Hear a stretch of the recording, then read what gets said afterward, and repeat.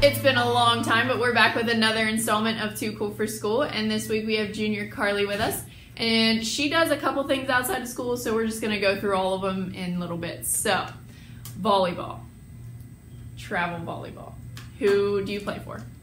Well, I play for the Horseshoe Volleyball Club, and there are several teams, but this year I'm on the 17s travel team. How long have you been participating in travel volleyball? Well, this will be my third year now. I've done my freshman, sophomore, and then now my junior year. And then you play for the school too? Yes. Okay.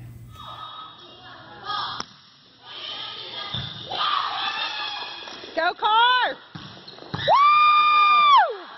Yeah! Woo! Yes. Okay. And then you do softball. Mm-hmm. You play for the school. And you play travel. For who? Yes. Um, well, my freshman year, I played for the Cardinals, which was with um, the head coach of Bellwood, Jim Payne.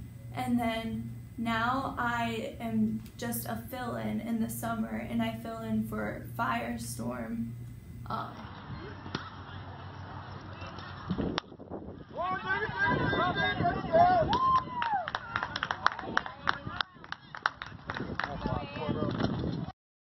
Okay.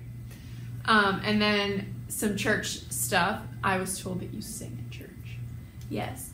Um, every Wednesday, I have to leave at 5:30, and we practice, and then I sing with the worship band for um, Wednesday night church.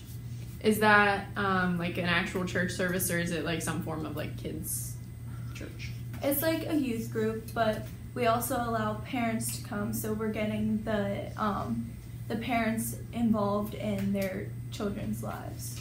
Cool. Um, do you have any plans like after high school? Um, yes, I'd like to be an elementary teacher, and I'm planning on going to Penn State Altoona. And um, I, my main thing is I really want to start a family. All right. Well, thanks for sharing with us and good luck. Thank you.